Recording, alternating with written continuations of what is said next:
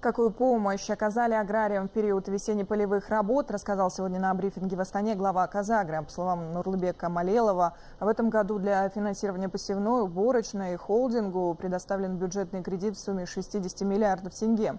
Деньги в виде займов распределены между дочерними организациями корпораций и банками второго уровня. Через них, в свою очередь, профинансировали более двух с половиной тысяч сельхозтоваропроизводителей.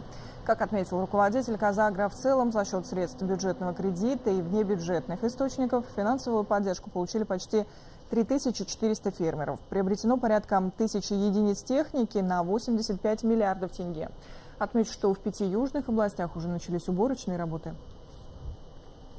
Финансирование ВП осуществляется также за счет внебюджетных средств. Э, на кредитование через систему кредитных товариществ и микрофинансовых организаций направлено 6,7 миллиарда тенге с охватом 482 субъекта э, АПК на площади более 1 миллиона, миллиона гектар.